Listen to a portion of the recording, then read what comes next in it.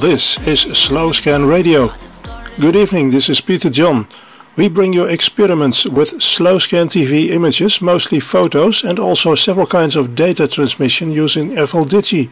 We won't have much spoken word in today's episode. Today's show is full of SSTV and data. You will need FLDigi or something similar to decode the data and in addition to that a program like MMSSTV or QSSTV or an app like Robot36 if you are an Android person or CQSSTV for iOS. You can find more info on that on our website which is slowscanradio.com slowscanradio.com. We would appreciate your reports very much. I have a bit of a backlash responding to your reports, although I did respond to several of you, but this week we have our new QSL card ready, which by the way is only available digitally as PDF. I already have to send around 200 of them, so please be patient. Reports are much appreciated at our mail address which is x at x-ray delta victor mike echo x-ray at x-ray delta victor mike echo which is also on our website. We will start now with the digital version of the text you just heard in MFSK 64. All data today is at 1500 Hz. MFSK 64 and all data will be 1500 Hz.